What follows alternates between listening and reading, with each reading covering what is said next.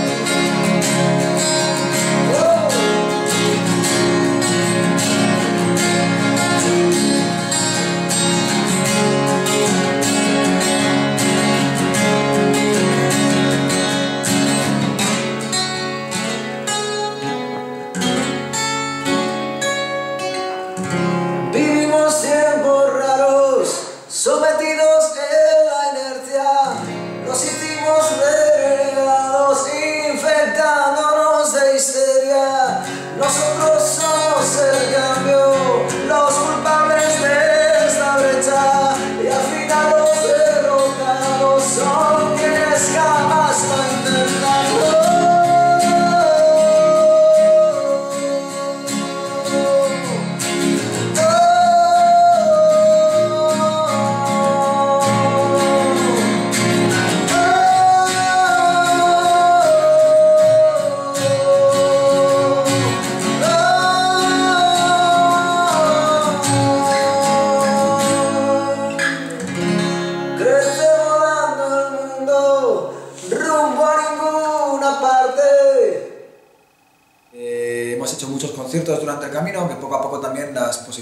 van, siendo menos para tocar por una, una eh, cuestión obvia de, de, cómo está el país, pero...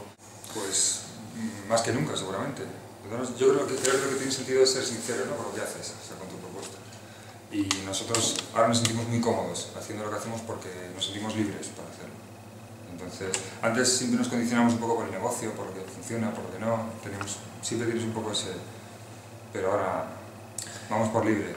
Éramos jóvenes, necesitábamos el dinero. Estábamos hablando de eso, ¿no? Que en Madrid, en Madrid parece que está habiendo una especie de, de resurgimiento de, de- de- desde hace unos eh, cinco años más o menos de, la escena de- del rock. Es cierto que queda mucho camino para hacer y que, y que realmente no hay, eh, no, no hay escena como la que hubo, pero es así. El, el- el rock siempre ha sido una música eh, hay de todos los estilos, ¿no? Pero siempre has- ha sido un poco underground, ¿no? Entonces ha representado un poco lo que es esa, esa cultura de base. Entonces es normal que tal y como se están poniendo eh, las cosas, eh, pues haya, haya una cierta rebeldía, ¿no? Y, y el arte. Hay grandes, eh, grandes letristas y grandes, grandes raperos que hacen también eh, bastantes eh, letras con bastante caña. Hay uno que escuchamos rock, de rock de los 70, pues Purple, Zeppelin, pues un poco eso, Black Sabbath, ¿no? Sí, eso es, lo que, eso es a lo que siempre volvemos. Pues cantamos en castellano y hacemos letras en castellano porque yo creo mucho en el, en el castellano, o sea, creo que es un, creo, creo que es un idioma eh, impresionantemente bello, aunque quede cursi esto decirlo, y, y para mí pues el rock en castellano evidentemente también ha tenido mucha, mucha influencia en mí, Leño, Barricada, eh, eh, Coz, eh, Rojo por supuesto, Y es como que todo pasa de largo. Para mucha gente. ¿no? La mayoría de la gente que, que- que- que realmente vende discos que tienen una capacidad de, de público muy amplia no, está, no, no, no, se deja ver afectada por, por toda la situación que está, que está pasando, que es importante. Nosotros somos los hijos de, de- aunque sea muy feo decirlo, somos los hijos de- del capitalismo. Es decir, nosotros hemos nacido, nuestros padres, nuestros abuelos han peleado por muchas cosas y a nosotros nos han venido dadas. Es la realidad, no somos mejores ni peores, al fin y al cabo somos seres humanos, tenemos sangre por las venas y esto es así. Entonces, Un espectáculo sincero, eh, divertido, a la vez que comprometido y, y básicamente es un concierto de rock and roll. Es eso, no, descubrimos, con este grupo no descubrimos nada, no hacemos nada excesivamente original, pero, pero es sincero y no sale de dentro, o sea, no hay, no hay truco y yo creo que eso conecta con la gente. o sea, es un, como decía un amigo mío, un partido de tenis. Damos, recibimos, damos, recibimos. amigos, tenéis que venir a la sala Caracol. No sé cómo lo veis, pero tenéis que venir el día 29. Esto es- está muy feo, parece un sponsor, un anuncio, eh, una cosa un poco contraria a todo lo que venimos diciendo de las otras preguntas, pero tenéis que venir a la ¿Por qué sala? Caracol. ¿Por qué no? ¿Por qué? Porque se puede hacer publicidad. Bueno, al fin y al cabo estás incentivando el consumo, no podemos ir de hippies y... y- Yo no voy de hippie, tú irás. Yo voy de hippie. Me gusta más Neil Young que Black Sabbath, pero esto no se lo digas a nadie. Pues yo que no soy, yo que no soy hippie, pues paz en el mundo.